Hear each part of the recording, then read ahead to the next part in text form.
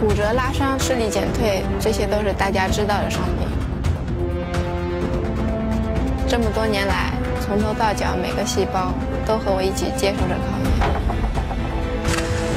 每天都泡在水里手指都是皱的对头皮也有伤害。但是什么样的困难我都可以克服。勇敢面对考验就能一次又一次的超越自我。